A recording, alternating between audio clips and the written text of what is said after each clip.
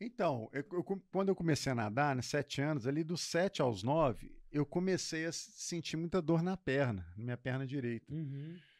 E aí, eu ia, minha mãe me levava vários médicos e tal, então os médicos olhavam para mim justamente isso que eu falei do negócio dos crescimentos, do estirão, e eu, eu piso muito para dentro, tenho uma pisada pronada, assim, para Ah, dentro. tá. Então os médicos batiam o olho em mim e falavam, ah, essa dor desse menino é porque tá pisando torto e tal. E fiquei usando, cara, dois anos, botinha ortopédica, sabe? Aquela botinha bonita, Ah, Nossa né? senhora. As fotinhas de Aham. formatura lá, tudo com aquela botinha é mesmo? É linda. mesmo? É, E usando aquela porcaria. E um belo dia lá na escola, com nove anos, né? Passado, passado dois anos dessa, de- dessa questão aí, é, eu tava jogando bola, tropecei e caí. E no que eu caí, eu não, eu não levantei mais, cara. Caí, eu senti uma dor, assim, absurda. E quando eu caí, tinha acabado de tocar o, o sinal do recreio. Aí a, a moça a lá correria. disciplinar. Não, a moça disciplinar ficou assim: Asmin tá fazendo uma hora pra não voltar pra aula, né? Nossa. Porque o tombo foi um tombo bobo, não Aham. foi um tombo que. se- Você virou o pé ali e caiu. é, tipo é isso. aquele tombo que normalmente eu cairia e já levantava na mesma hora e continuaria correndo. Aham. Só que eu caí e fiquei. Caramba. E aí aquele negócio de chamar minha mãe e tal, aí foi lá, a diretora da escola, a, a coordenadora, olhou pra mim na hora que ela viu, eu tava suando frio. Falou assim, menino tá com alguma coisa errada. Aí E ligaram pra minha mãe. exposta, assim? Não. Não. Que foi mais. Aí foi mais. Foi é, assim, ficou um ovo na minha perna, Aham. me levaram pro hospital. Chegamos no hospital, aí que a gente foi descobrir que eu tinha fraturado o fêmur, porque eu tava com um cisto ósseo aneurismático. Que é um tipo, um- como se fosse um câncer, né? Que vai comendo o fêmur por Corroendo dentro. ele. É. Então o meu fêmur estava praticamente oco. Quando eu caí, mesmo aquele tom bom, bobinho, foi o suficiente para arrebentar o, o fêmur todo. Esmigalhou o fêmur. E, e era para ter sido uma fratura exposta. E não foi justamente porque eu já nadava dois anos, então já estava com uma musculatura mais firme. Ah.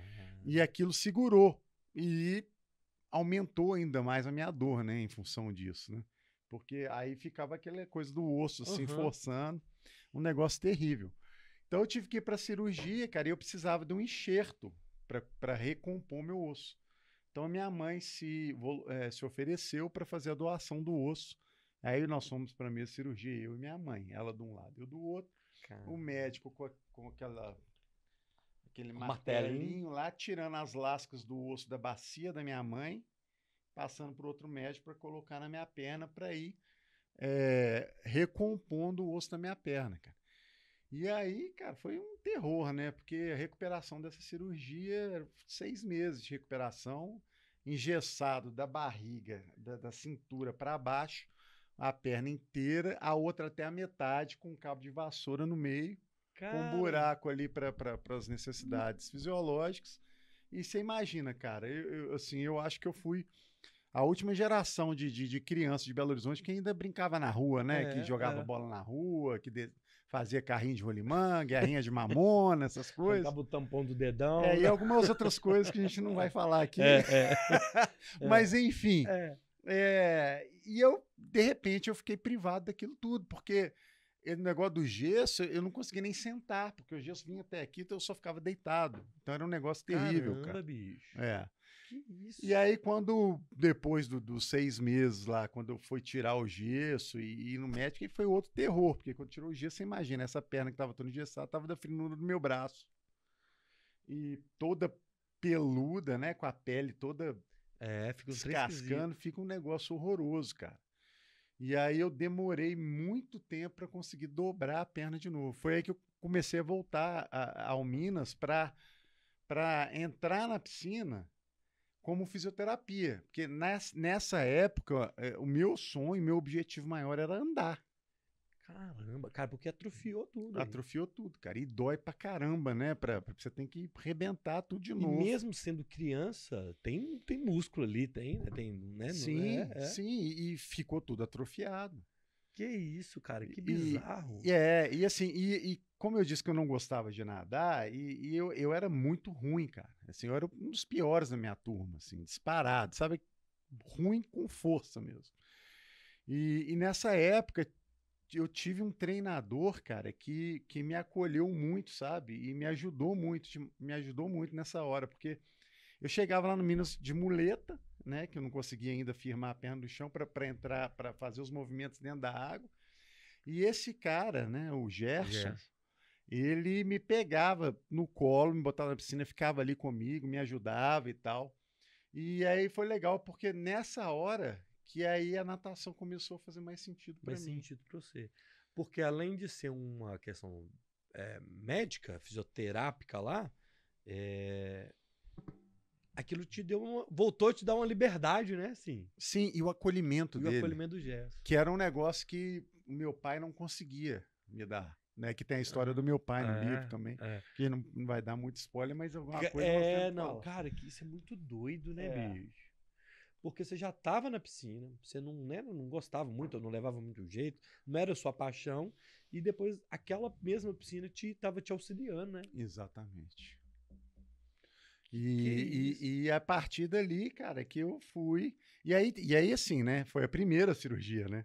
o primeiro. não, porque- calma, calma, calma. é, Quando você tava lá nesse tratamento, os médicos fizeram, porque é um, é um- é um- um cisto, um tumor, sei lá. Vocês ficaram com receio disso? Porque eu não vi você contando isso. E no livro não tem isso. De tipo assim, tirou. Como é que é isso? É, Você falou dessa, dessa, dessa coisa de, de- do contraste, né? De, de eu Uhum. não gostar de nadar e a natação ter sido a minha salvação, É, vamos falar assim, é. né? Na- me ajudando nessa recuperação.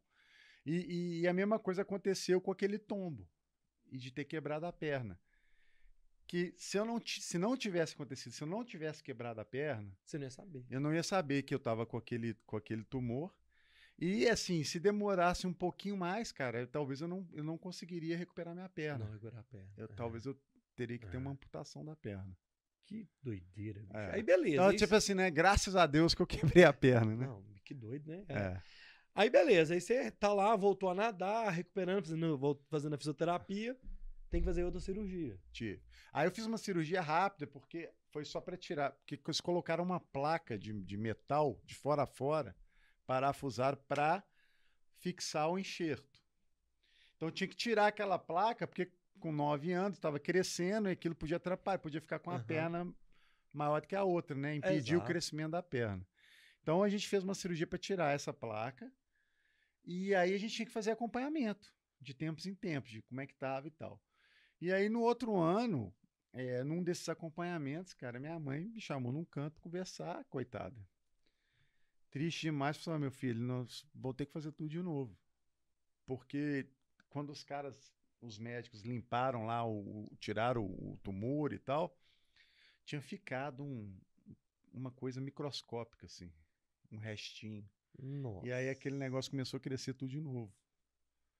Aí a gente teve que fazer o negócio todo de novo. Aí eu parei tudo de novo, voltou, tudo, estaca zero. Que... Aí eu queria morrer, né, cara? E a cabeça Eu, do, quis, eu, da- que- eu da quis morrer criança? umas 15 vezes. Não, pois é. e é por isso que a vida é boa demais, né? Exatamente. E O aí, pessoal fica achando que a vida é boa demais. Não. fala, Ah, esse cara tá com a vida É, ganha. não. não, é muito- justamente o contrário. Cara, você é, você é muito resiliente. É, e aí, como é, que é como é que era a cabeça da criança naquele Ah, momento? cara, eu, fiquei, eu ficava muito revoltado, assim. Muito revoltado. Mas essa hora, assim, a, a minha mãe era que era a minha Da Marinês. Dona Marinês, que segurava a minha onda, assim, legal, né?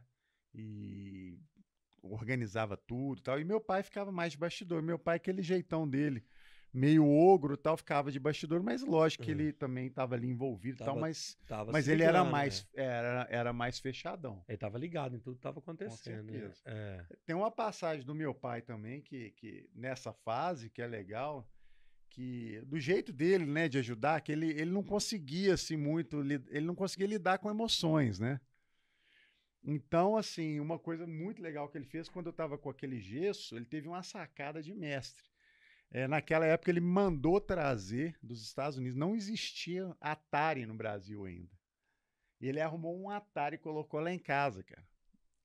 Aí, que todos os moleques, todos queriam ir lá pra casa pra jogar Atari. Aí aquele negócio me deu uma, uma segurada, entendeu? Que aí você virou o centro da, da, da É, entendeu? Aí, aí o pessoal ia lá em casa, né? Porque senão, eu passei um tempo ali, na hora que ele viu que o negócio tava pesado demais, ele teve essa sacada. Sacada. E conseguiu, isso me ajudou muito também.